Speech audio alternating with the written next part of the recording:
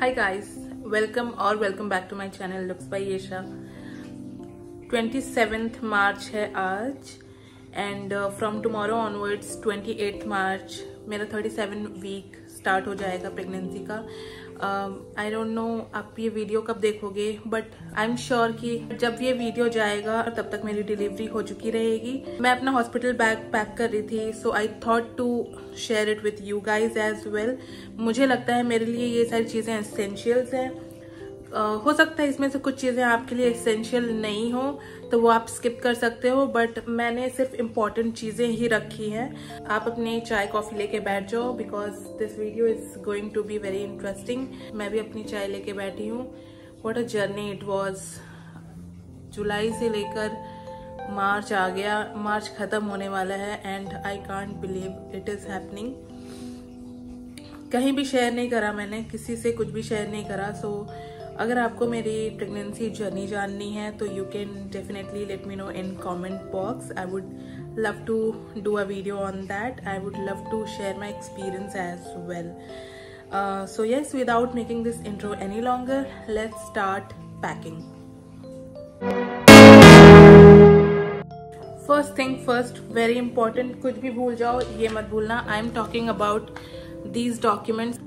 Starting से लेके आपके एडमिशन तक जो भी आपके डॉक्यूमेंट्स हैं, वो हैंडी रखना बहुत इंपॉर्टेंट है। तो make sure to pack all of them इसमें मेरे सारे ultrasounds reports blood reports and everything जितने भी मेरे टेस्ट वगैरह हुए हैं सिंस बिगनिंग टिल डिलीवरी वो सारे डॉक्यूमेंट्स मैंने रखे हैं। सबसे पहली चीज़ मैं यही पैक कर रही हूँ बिकॉज़ सारी चीज़ें सेकेंडरी हैं but documents are very important काफ़ी फैमिली में ये मान्यता है कि जब न्यू बॉर्न बेबी होता है तो हम उसे कुछ भी नया नहीं पहना सकते हैं या हम उसके लिए कुछ भी पहले से शॉपिंग नहीं करते हैं जब तक उसकी छठी की पूजा ना हो जाए।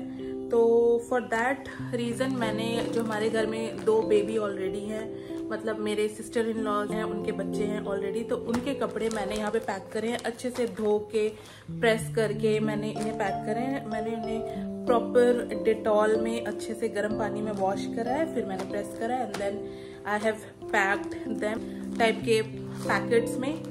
तो जो बेबी होगा मेरा, या होगी जो भी वट एवर बॉय और गर्ल दोनों पे जाएँगे ये कलर्स सो दैट्स दैट तीसरी चीज़ जो बहुत इंपॉर्टेंट मुझे uh, लगी वो है these period panties maternity panties because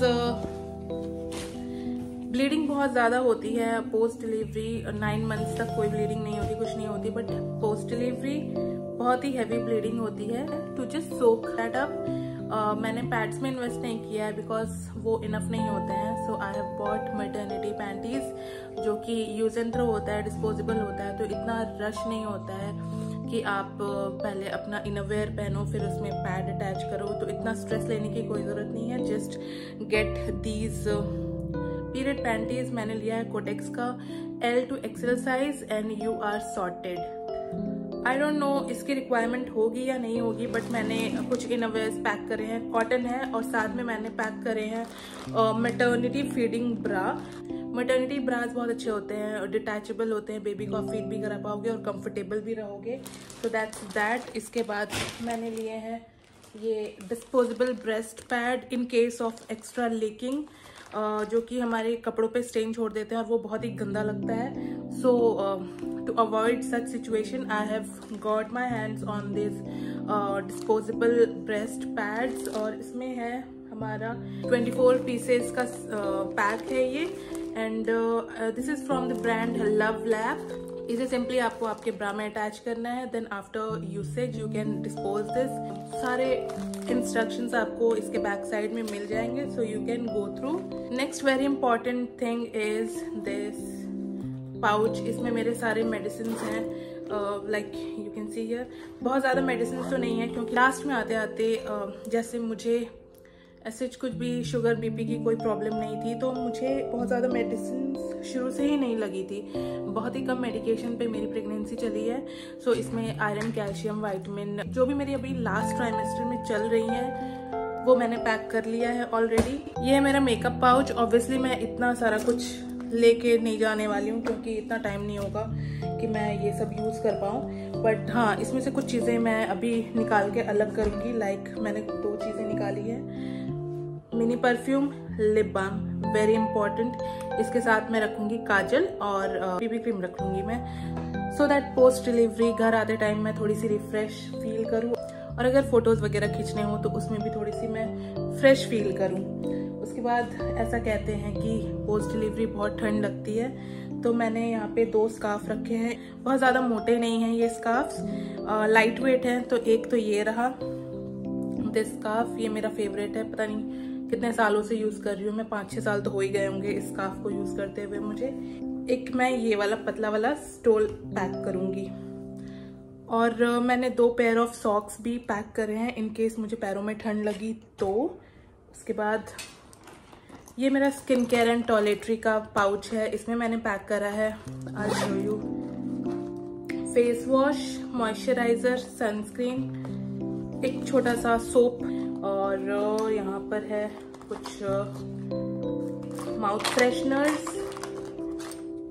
sanitiser के pouches body oil brush and tongue cleaner you can see इधर छोटा सा एक टूथपेस्ट भी मैंने पैक कर लिया है। वैसे तो ये सारी चीज़ें हॉस्पिटल में मिलती हैं but why to take chance जब सारी चीज़ें अपनी हैं तो फिर वाई नॉट आफ्टर दैट एक मैंने फेस टाल पैक करा है, छोटा सा, बहुत ही सॉफ्ट सा अच्छा सा, अपने लिए, अपने हाथों को अच्छे से वाइप करने के लिए फेस को टैप करने के लिए।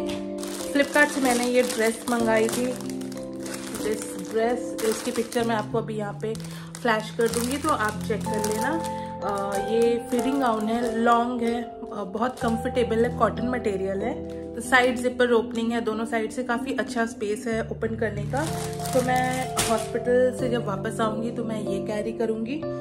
इसके साथ जो बहुत इम्पोर्टेंट एक चीज़ और है वो है स्लीपर्स फॉर हॉस्पिटल ये भी मैंने फ्लिपकार्ट से आई गेस ऑर्डर करा है। जितनी भी चीज़ें मैंने ऑर्डर करी हैं, मैं उन सबका लिंक आपको डिस्क्रिप्शन में प्रोवाइड कर दूँगी।